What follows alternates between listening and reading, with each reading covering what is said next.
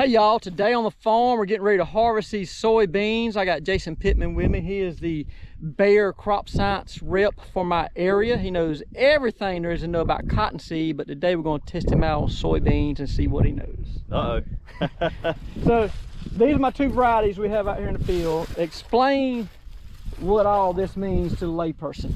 Okay, so uh, AG just stands for Asgrow, that's our brand. The first two numbers are the maturity. So this would be a 5.3 maturity, which is kind of a mid-maturing bean for us. We plant group fours, which are an Mhm. earlier, and then we plant sixes and sevens, which is a fuller bean. The three um, actually gives you a little bit more information to the five. So the smaller that number is, the earlier it is on the group Yeah, five scale. Early five or late Yep. five. XF means XtendFlex, so that means you can spray Roundup and dicamba and Liberty Mhm. over the top of it to keep them clean. And then the two is actually the year of its release, so it was Okay. released in 2022. Okay. Um, I was wondering, we, we were worried about me and my consultant when we had to get the second variety. I said, everything matches up on that sign, but one one number on the end. He Yeah. said, well, I hope we're good, as long as we got the XL. Yeah. We didn't know what the two and the O was, but that's yeah, it's just 2020 versus 2022. That's right. Okay, Yep. And this one right here has been around for a while. Obviously 2020, but it's been a really good one for a while. Yeah. And so we're constantly bringing stuff forward every year to try to beat what's been the Yeah. best. And so for me this year, that has been the best. We haven't gathered them yet, but I did a, a formula I found on the internet where you can take the plants per acre times the pods per plant times the beans per pod, and you divide that by the number of pot, number of beans in a pound, then divided by the number of pounds in your bushel. Mhm. and it will give you a rough guesstimate of the yield. And that's looking just roughly like 80 to 85 and this is closer to 75 of course we have an area of severe deer damage in the back that's going to knock that down hard. But just off that rough formula we're looking around 80 bushel beans. But one of them these average anywhere from 50 to 55 on a plant and these average anywhere from 37 to, to 45 on some plants so it's just a little bit different. They were planting on the exact same conditions and been treated the same all year. Just 54 for me has outperformed 53. Yeah. Well, we'll see. Yeah. Let the combine roll because sometimes the different size of the beans in the Yeah. pod makes a big difference Yeah, too. so- a bigger bean weighs up faster than a smaller bean. That's so, right. So some of them may look like little BBs and some of these may be a little bigger. And so all those there's less pods and the plants are shorter. I may get more weight here. So, Right. Yeah, that makes sense. One thing about this one that this one doesn't have, you know, in our area we have some nematode issues. Yep. And in group five, not every group five has some uh, nematode resistance.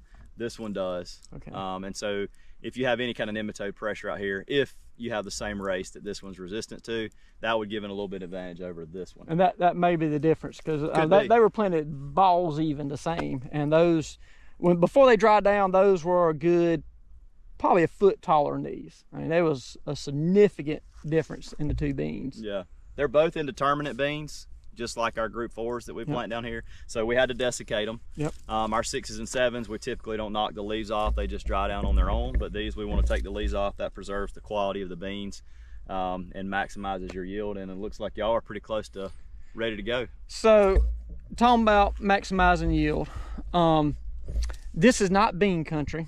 Uh, I would call Nebraska or Iowa bean country. They rotate corn and beans back and forth. Down here, where you grow peanuts at in the south, a lot of farmers don't grow beans because it interferes with their rotation. However, South Georgia's owned the last three or four world records. We're on the current world record. I know the last three, maybe four world I records know the last two for sure. Yeah. the one the farmer over closer to you Mhm. has had two or three records in a row and then Yeah. now this guy from leesburg had it earlier this year they all planted beans that were harvested in august Mhm. so is is that a group three group four Group bean Four. Yeah. well why is it that we're making these yields in south georgia and we're talking about 200 bushel beans these these guys are making 180 205 207 bushel beans why are we able to do that in Georgia, but the places that specialize in beans, Nebraska, Iowa, and whatnot, why are they not at that level? Well, I think, you know, the main thing with those guys is they're really trying to do everything they can to push yield. I mean, they're they're testing for um, foliar testing for issues twice a week. You know, they're putting extra fertilizer. They're spending a lot of money. I mean, Yeah. that, I don't know that it's uh, it's something that you could do on on large acres. Yeah, You know, yeah. and we're also heavily irrigated down here too, where we plant a lot of our beans, and so we don't ever kind of lack for anything.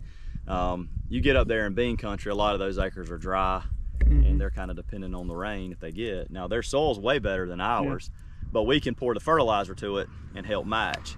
This this red dirt will hold it too, Right. hold that fertilizer. Those guys are are mostly planting on sandy loams, uh, from what I hear. Uh, the guys over in middle southwest South Georgia that are getting those yields. My my dirt here is mainly just red dirt, Right. and I can hold it. But uh, I think the main issue that I, that I would have to face that they don't have is getting the uniform stand. I've watched some videos where, where they were talking about the the necessity for them beans to come up within the same half of a day. Mhm. A bean that comes up a day later or two thirds of a day later will make less beans than the bean plant on either side of it that came up, you know, 10 hours sooner. Uh, Yeah, you got a window there on on cotton, on beans, on corn, where if you don't come up pretty consistent, then one's going to be a dominant plant, the other one's going to act like a weed, and this is going to be a drain on Yeah. that one side it. Maybe it's ten hours. I don't Yeah. know. You know, I don't know what that Yeah. exact They number were is. saying when you can see it. Those sandy loams, they can get them up even. With this hard clay, I get a little crust, and then Right. you know how hard beans are to get up. And this this red clay, when basically I plant them, I cut the water on, and you don't let the water stop until the beans are up.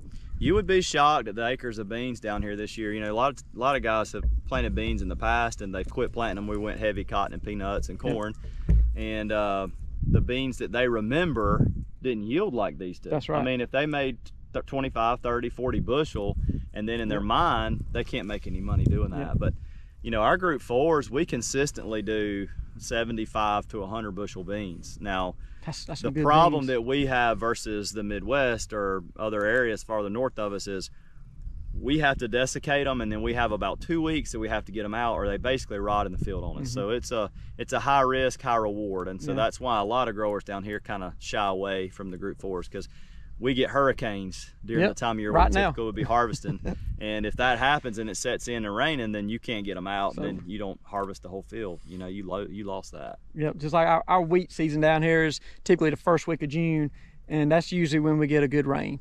If we get a rain during wheat season, wheat's over with.